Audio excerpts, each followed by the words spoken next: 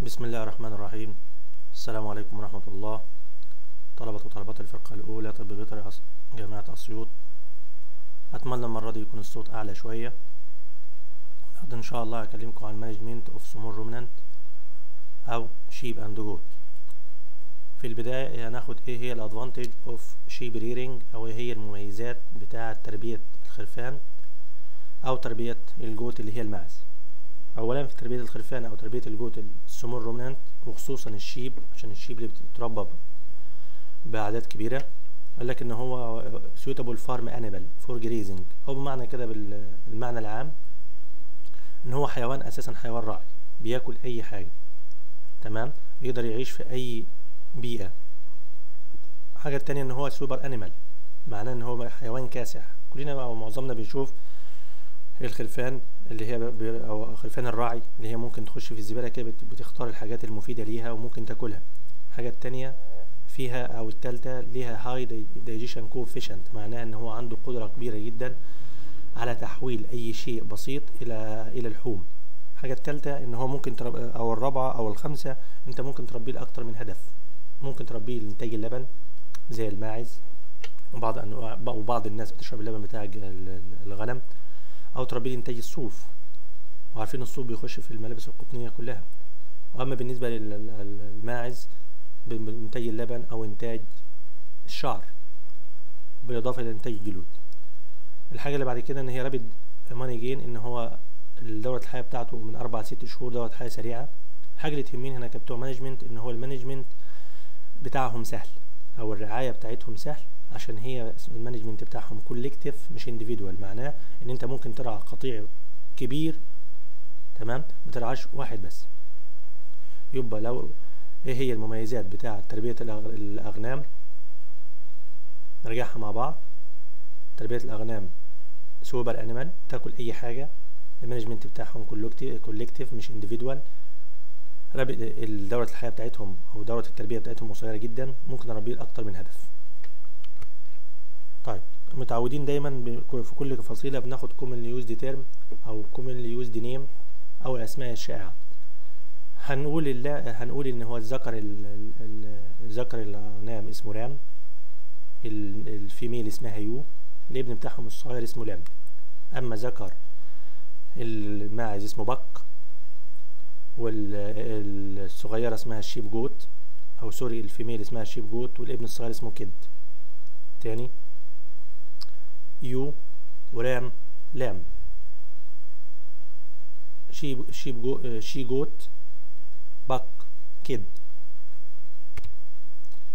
ال identification لو انت رجعت شوية كده وتذكرت عملنا إزاي identification في ال horse خدنا حاجات كتير جدا مع بعض في ال identification في ال horse ولكن ال identification في ال sheep حاجتين يا إما individual يا إما collective collective معناها إن أنا عندي قطيع كبير جدا من الأغنام عايز أميزه عن القطيع التاني اللي جنبيه برضو من الأغنام. يعني في ال collective بعمل تمييز ما بين قطيع وقطيع. هنمثلها كفريق الكورة؟ فريق الكورة ده لابس تيشيرت أبيض وفانيلا حمراء ده لابس تيشيرت أبيض و... و... أو تيشيرت أسود وفانيلا بيضة. فمعنى كده إن هو إيه ممكن يدي لون على ظهر القطيع كله بنفس اللون والقطيع التاني ياخد لون تاني. أو داخل القطيع نفسه ممكن أعمل individual إن هو ممكن يبقى واخد نفس اللون الأحمر أو الأزرق أو أو أو أو وممكن ادي الحيوان ear tag أعلق له الرقم الموجود في الأذن ده. ماشي؟ بنحاول بقدر المستطاع نوضح لك بعض النقاط اللي ممكن تبقى صعبة عليك. أنت تتواصل مع معايا على الفيس أو على الواتس وتقرأ دول أو ممكن تقرأ دي هنا أو تقرأ في المذكرة المهم تستفيد معلومة علمية تبقى سهلة بالنسبة لك. لو اتكلمنا بعد كده على ال breeds في حاجة اسمها ال foreign breeds في ال sheep وال goat وفي حاجة اسمها ال Egyptian breed. ال foreign breed في ال sheep وال goat معظمها هنتكلم على. زي الصور اللي عندك دي مش عايز منها غير صور بس. في ال foreign breed في بتاعة ال sheep زي المارينو زي ال Suffolk المهم إن ال sheep ال foreign breed بتاعة ال sheep بتستعمل أكتر لإنتاج الصوف وال foreign breed بتاعة ال goat تستعمل أكتر لإنتاج اللبن. فأنت لو بصيت على ال foreign breed دي بتاعة ال goat شايف ال udder؟ هي عندها كام udder ال goat؟ وعندها كام teat؟ ماشي؟ وده يستعمل أكثر لإنتاج الصوف. ده ال foreign breed بسم الله الرحمن الرحيم. السلام عليكم ورحمة الله. طلبة وطالبات الفرقة الأولى طب بيطري جامعة أسيوط. أتمنى المرة دي يكون الصوت أعلى شوية. إن شاء الله هكلمكم عن management of small ruminant أو sheep and goat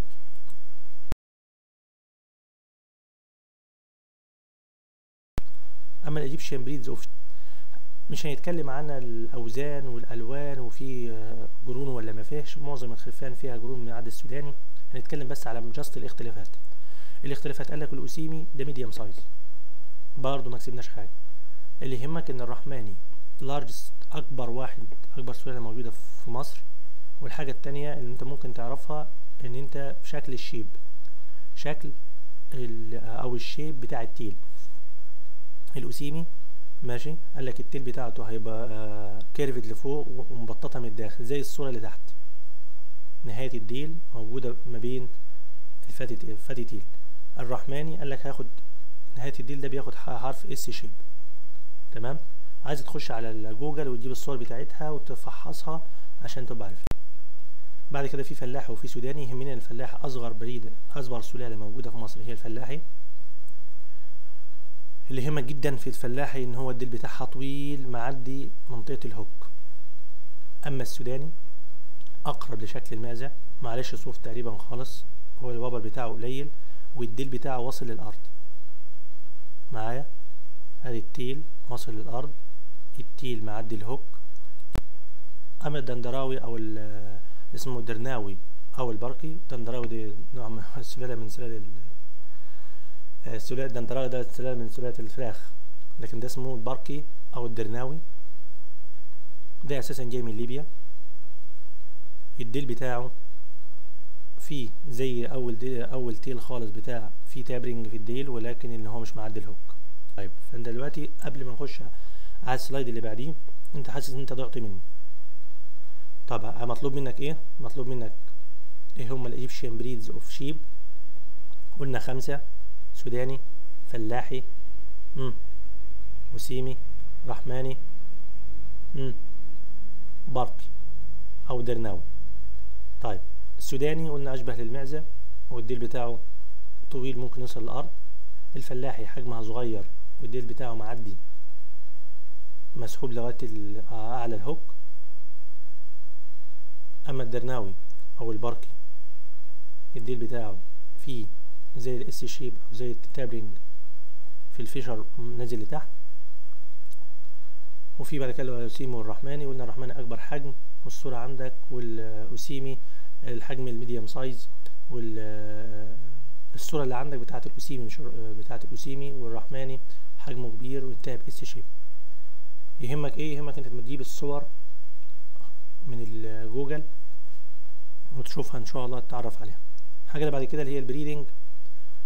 of sheep and goat يبقى خدنا ليه أو إيه مميزات تربية الأغنام. إيه هي الأسماء الشائعة؟ إيه هم الفصائل. breeds قلنا. فصائل. foreign breed أو ال Egyptian breed. لو ربنا كرمك وإن شاء الله وجا في الامتحان إيه هي ال Egyptian breeds of sheep؟ ممكن يكفينا رسمة ال tail بس. أو ال comparative من ناحية ال tail. طيب ال breeding of sheep and goat قلنا إيه هو الفرق بين ال puberty وال maturity قلنا هذه في في ال mare لو أنت فاكر. قال لك ال age of puberty من خمسة لسبع شهور في ال ram أو ال ram lamb اللي هو يعني ال age of puberty بين خمسة لسبعة في ال ram. خلي بالك ال slide ده فيه أرقام كتيرة حفظ مش تلاوة. يعني لازم تحفظها عشان تبقى عارفها. ده أساس ال management بتاعك. يبقى ال age of puberty في ال ram من خمسة لسبعة في ال ewe من تمانية لعشرة في ال female goat تمانية week male goat أربع شهور. طب نحفظها إزاي؟ خليك ال sheep نبدأ بالصغير الكبير الكبير للصغير الصغير للكبير. نبدأ من الصغير للكبير. ال goat ال female أربع ال female تمانية تمانية week اللي هي تقريبا شهرين ال male أربعة ال male ram خمسة لسبعة ال female تمانية لعشرة months. months تاني. ال female goat شهرين. ال male goat أربعة. ال male sheep اللي هو ال ram من خمسة لسبعة. ال female اللي هي ال ewe من تمانية لعشرة شهور. سهلة في الحفظ. ولكن يفضل ما ندخلش دول تزاوج غير عند عمر سنة ونص ليه؟ قلنا إيه الفرق بين ال age of puberty وال age of maturity قبل كده طيب الحاجة اللي بعد كده عدد ال ram اللي بيتحط مع ال ewe في القطيع بيتوقف على السن وبيتوقف على الوزن وبيتوقف على ال breed ولكن في العموم ال ram الكبير سنا ممكن يتحط مع 30 أو من 35 ل 50 ewe وال ram الصغير السن ممكن يتحط 15 ل 20 يوم. أما ال buck اللي هو ال male goat ممكن يعمل mating أو service ل 100 goat أو she goat في الموسم. طيب متعودين دايما في كل فصيلة بناخد common used term أو common used name أو الاسماء الشائعة. هنقول اللا هنقول إن هو الذكر الذكر الغنام اسمه ram. ال female اسمها ewe. الابن بتاعهم الصغير اسمه lamb أما ذكر الماعز اسمه buck والصغيرة اسمها ال she goat أو sorry ال female اسمها ال she goat والابن الصغير اسمه kid تاني يو ورام لام. شيب شيب جو شي جوت بق كد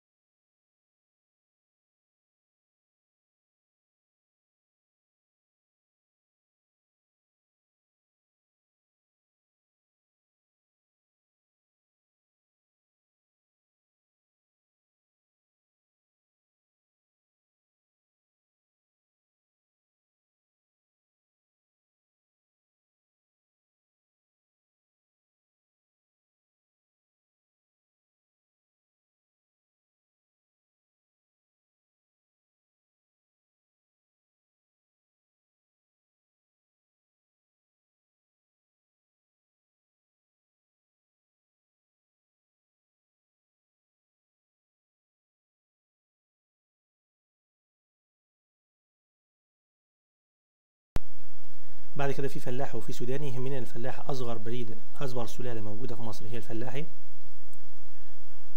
اللي يهمك جدا في الفلاحي إن هو الديل بتاعها طويل معدي منطقة الهوك. أما السوداني أقرب لشكل المعزة معلش صوف تقريبا خالص هو الوبر بتاعه قليل والديل بتاعه واصل للأرض. معايا؟ ادي التيل واصل للأرض التيل معدي الهوك.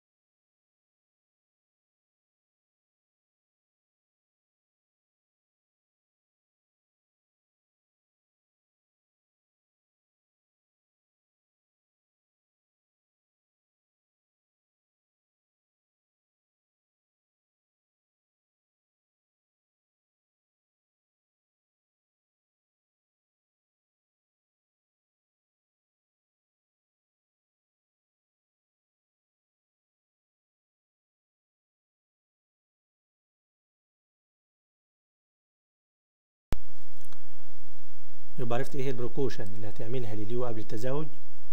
يبقى دلوقتي تاني نرجع بسرعة. من البداية خالص عرفنا بنربي ال sheep ليه؟ وعرفنا الأسماء الشائعة بتاعة ال sheep. وعرفنا الفصائل الأجنبية والفصائل المصرية. وعرفنا puberty وال age of puberty و maturity. وعرفنا ال breeding season إمتى؟ وبعمل تلق... بعمل تلقيح أو تزاوج إمتى؟ طب إيه هي المميزات؟ طبعا أنت فاكرها إن شاء الله. تقريبا. ماشي.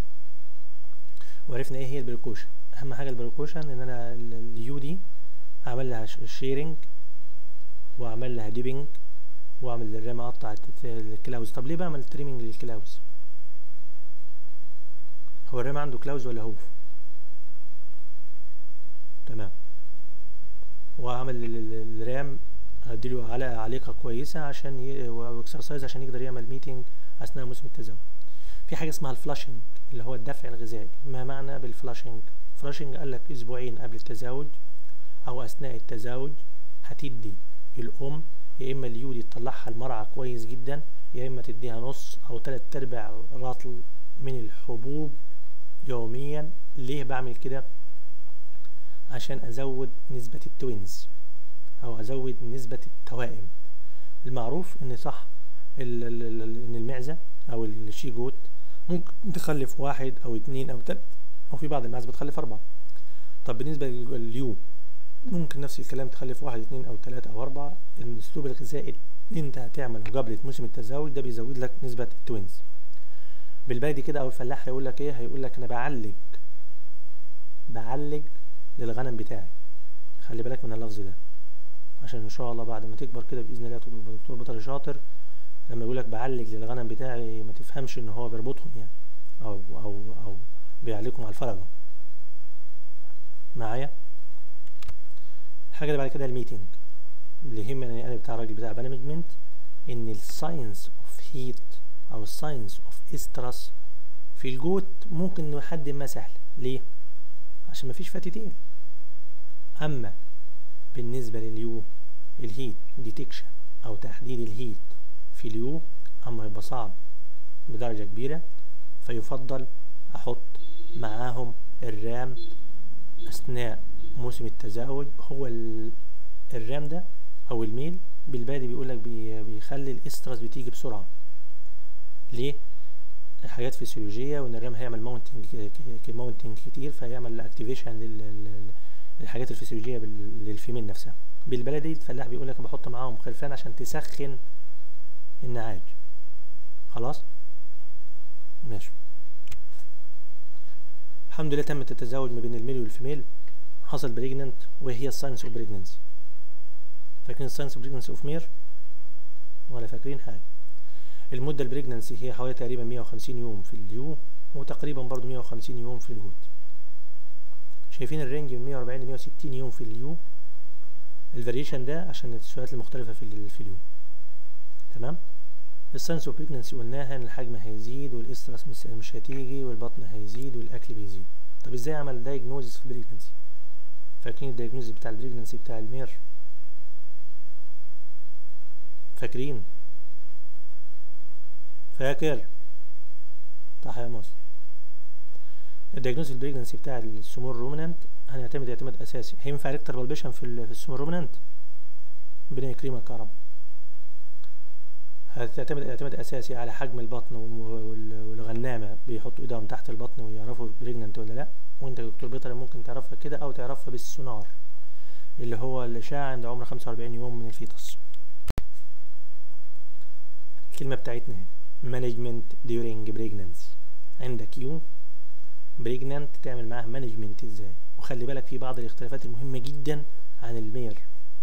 قال لك في خلال آخر ست أسابيع من ال gestation اللي هو آخر شهر آخر شهر ونص أو بمعنى أصح التلت الأخير من الحمل هتزود معدل التغذية بمقدار خمسين في المية. قيمة وخمسين في المية. حجم ارجع بدماغك كده لورا قلنا في ال mare إيه؟ هنزود قيمة بس. طب ليه؟ لكن ال mare diffuse placenta ولكن ال small ruminant ده نوع ال placenta في ال ruminant ال small ruminant إيه؟ خدتوها في التشريح وأنا عارف إن أنتوا علماء في التشريح. فهسيبك تعرف. الحاجة التانية قلنا هناك ال pregnant يفضل الشغل يقل. هنا ال pregnant تعمل exercise لمدة ساعتين على الأقل. sorry تعمل exercise مش أكتر من 2 كيلو كل يوم وتحميها من ال disturbance وال crowding طب أول ما تقرب من الموسم الوضع أو عرفت إن هي pregnant وقربت تضع تحطه في ال lambing pen هناك ال foaling pen هنا ال lambing pen وبالنسبة لل sheep lambing pen وبالنسبة لل goat kidding pen قبل الولادة بأسبوع ماشي يفضل تعمل shearing للأم عشان تشيل الصوف وخصوصا في المناطق القريبة. يعني أنت تعملها shearing أو بمعنى صح هتعمل لها تشيل الصوف كله أو تجزها بالبلدي عشان الابن الصغير ده مش لسه مش عارف ال udder فين ما يقعدش يعمل suckling للصوف خلي بالك لو سألتك أنت مصري هتقول إيه؟ لو سألتك ال management of ewe during pregnancy وال management of mare during pregnancy في بعض الاختلافات خلي بالك منها اللي هي إيه؟ برافو عليك. طيب management after lambing بعد ما ولدت هنعمل إيه؟ في management للام وفي management للابن management للابن طبعا أنتوا عارفينه هنقطع ال umbilical cord مش ال spinal cord بعد خمسة سنتي ونحط tincture iodine ونخلي الأم تعمل له licking وهيقف خلال نص ساعة لغاية ما يروح يرضع أما المز... الأم الأم قلنا تعبت أثناء الولادة يفضل نديها شوية مية فاترين ويفضل بمية دافية و antiseptic solution أو مطهر ونمسح ال udder مكان الدم ممكن دي برضو تعملها لل mare معايا كبير. معايا دكاترة سواء انسات أو أولاد. خلي بالك لفظ دكتور يطلق على الذكر والأنثى عشان في بعض الناس زعلت إن أنا بكلم صفة ال male بس. لا دلوقتي بقينا في دولة متحضرة والبنت زي الولد مش كمالة عدد. طيب الحمد لله شايفين ال lamb الصغير الجميل ده؟ قالوا لها هناخدك صورة سيلفي فبصوا عليهم. إيه ال raising lamb أو إزاي أربي ال lamb الصغير؟ الحاجة اللي بعد كده ال mating. اللي يهمني أنا بتاع الراجل بتاع management إن ال signs of heat أو ال signs of estrus في ال goat ممكن لحد ما سهل. ليه؟ عشان مفيش fat tail أما بالنسبة لل ewe ال heat detection أو تحديد ال heat في ال ewe اما يبقى صعب بدرجة كبيرة. فيفضل أحط معاهم ال ram أثناء موسم التزاوج. هو ال ram ده أو ال male بالبلدي بيقولك بي بيخلي ال estrus بتيجي بسرعة. ليه؟ حاجات فسيولوجيه وإن ال ram هيعمل mounting mounting كتير فهيعمل activation للحاجات الفسيولوجيه لل female نفسها. بالبلدي الفلاح بيقول لك بحط معاهم خرفان عشان تسخن النعاج. خلاص؟ ماشي. طب لو لو أمه ماتت أو عندها مشاكل في ال udder أو عندها mastitis أو عندها مشاكل أو اللبن بتاعها قليل هرضعه cow milk. أربع أجزاء من لبن ال cow. لبن الابقار وقلنا ليه لبن ابقار مش لبن جاموس؟ وقلنا لازم البقرة دي تبقى free from tuberculin أو ال TB أو ما عندهاش مرض السل. أحط عليه lime water water أو lime يا إما مية يا إما ماء جير. واضيف عليه بعض السكر. طيب واحطه في ببرونه ورضع الصغير بس لازم الخلطة دي تبقى في درجة حرارة الح... الحيوان. هناك قلنا درجة حرارة 37 ل 38 عشان ده الطبيعي درجة حرارة الطبيعي بتاع مين؟ بتاع ال foal. هنا هيبقى يوصل من 39 ل 40 وهرضعه. إزاي ترضعه بقى؟ بالبلدي كده الأسبوع الأول كل 3 ساعات الأسبوع الثاني كل 5 ساعات. بعد ما يعدي الأسبوع الثاني قلنا هيبدأ هو كده كده يقطقط أو يبدأ يشم في في الحشايش. وممكن يبدأ ياكل على 3 أسابيع هرضعه مرتين بس. وبعد كده بعمل له weaning عند عمر. زي ما قلنا هناك 12 ل 14 week اللي هم تقريبا 3 4 months أما في ال kids الصغير ستة لتمانية week اللي هما تقريبا كام؟ شهر ونص لاتنين طب لو أنا عايز أربي الحيوانات دي لل breeding أو لو عايز أربي الحيوانات دي لانتاج اللحم ممكن أعمل لها castration هم عارفين castration يعني إيه؟ عند عمر واحد لتلات أسابيع مش قبل تلات أسابيع ومش مش مش في خلال الفترة دي عشان الحيوان بالفعل يبقى خد فايدة التستوستيرون البسيط الموجود في الجسم عشان يكون العضل يكون ال bone أو يكون العضلات بتاعته. طيب شايفين ال artificial في في artificial feeding دي bucket بزازة ومحطوطة في decline position ودي ودي جدول وممكن يشربوا أكتر من واحدة مع بعض. يعني ممكن ترضع فرداني أو ممكن ترضع مجموعة. تمام؟ كمية اللبن اللي موجودة من جوه اللي أنت الخلطة اللي عملتها بدرجة الحرارة المعينة بتاعة الجسم تتوقف على وزن الحيوان. إن شاء الله. والحاجة التانية في بعض الناس بتخليها بال decline الأعلى من الحيوان كده في بعض الناس بتفضل ال decline ده أو تبع الوزن تبع ال- الخروف. كل ما يكبر كل ما نعلله فوق شوية بس يفضل يكون في suckling behavior بمعنى إن الببرونة دي مش مفتوحة إن هو يضغط عليها تنزل لبن على طول لازم تكون شديدة شوية عشان يحصل suckling يحس إن هو بيعمل رضاعة من حاجتين هو هيفرح والحاجة التانية ال- ال- ال- اللي ما يحصلوش حاجة اسمها drenching pneumonia أو ما يحصلوش إن اللبن نازل على طول فيشنق أتمنى اكون في. ببعض النقاط البسيطة دي في عجالة المحاضرة في أبسط صورها اسمعها اقراها من الكتاب علم نفسك تقرأ كتير عشان في الامتحان تفتكر قليل. اللي بيني وبينك إن أنت أخويا و... وأنا عمري ما هضرك بس الفكرة كلها بلاش سؤال هيجي إزاي الامتحان؟ بلاش سؤال. نذاكر من الكتاب ولا المذكره يا دكتور؟ ما هو الكتاب هو المذكرة. نذاكر من الكتاب ولا ال PowerPoint هي معلومة علمية بنحاول نوصلها لك. معلش الظروف جت عليك وجت علينا بقدر المستطاع بنحاول نوصل لأفضل حاجة. وعلى الله التوفيق.